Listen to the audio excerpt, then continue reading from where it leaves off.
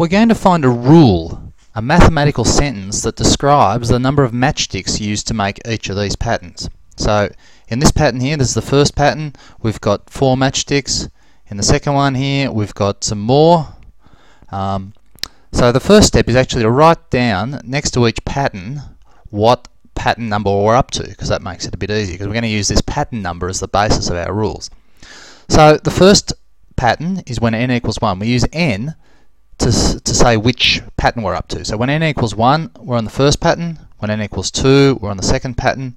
When n equals 3, we're on the third pattern, and so on, and so on, and so on. We go up to n equals 8, because that's all the space I've got to put these matchstick patterns on the page, really. And But you can keep going on and on and on. And that's the idea of the pattern, is that we'll be able to use the pattern rather than having to draw or actually make the pattern if you wanted to go up to 450 matches for some reason. So the next step is to write down the number of matchsticks used. So first one we've got four matchsticks and it's easier if we show all the patterns here. The second one we've got 10 matchsticks. You've got the original four plus you've got six extra. One, two, three, four, five, six. So it really it only takes three matches, three extra matches to make one more box because you've already got this box here, this match here. And so two extra boxes takes six matches. And so the third pattern, we've got the original 10 plus another 6. The original 10 plus another, or the original 16 plus another 6. So that's the next step is to write down the rule. Starting with four matchsticks, the number of matchstick goes up by 6 for each following diagram. So that happens for all of the patterns that we've got. So next thing we're going to do is put all that information into a table because it makes it a bit clearer.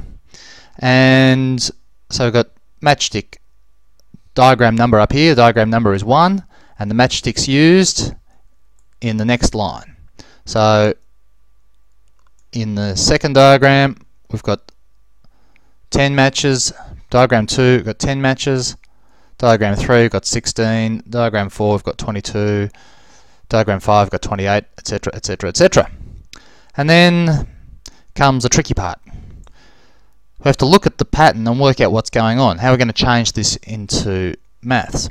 So the thing to do is to look here and you see that each time we go across in the pattern, we're adding 6. Alright? And the mathematical way of thinking about adding 6 is to say, well, instead of going 6 plus 6 plus 6 plus 6, you multiply. So here we've got, uh, we're on the 8th pattern. We've had to add 7 lots of 6.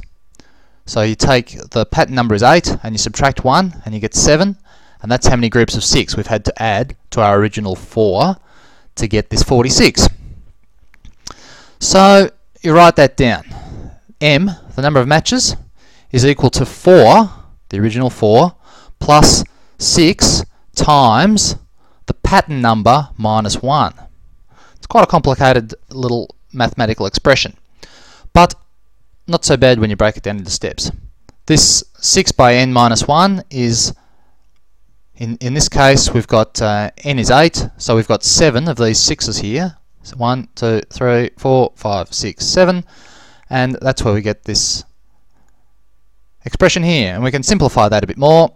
So we, we say it's 4 plus 6 lots of n minus 6. And then you can move that minus 6. You can add these things up in any order you like. So we've got 4 minus 6 plus 6n. And that is minus 2 plus 6n. And Normally, it's fashionable in mathematics to write things with negative signs after the things with the positive signs. So we're writing, we're just changing the order. 6n minus 2 is the same as minus 2 plus 6n. And so that is the general rule for the number of matches in the pattern. And you can go back and check it out. So these numbers here are basically the 6 times table with 2 subtracted. So one lot of 6 is 6, minus 2 is 4, 2 lots of 6 is 12, minus 2 is 10. 3 lots of 6 3 lots of 6 is 18, minus 2 is 16, 4, etc., etc. So you can see that the rule works for each of the patterns that we've drawn. Checking them one at a time. And so there we've taken a reasonably complicated pattern and we've reduced it into one line. Number of matchsticks is 6n